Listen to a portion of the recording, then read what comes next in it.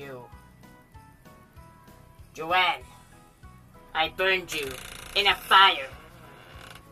You're dead now. You're a spirit like me.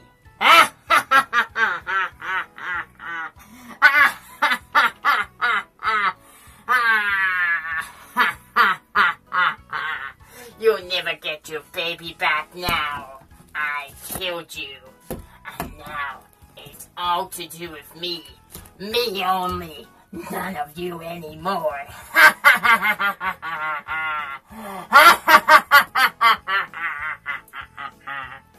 you are dead. And I will bury you. Before you become a spirit like me.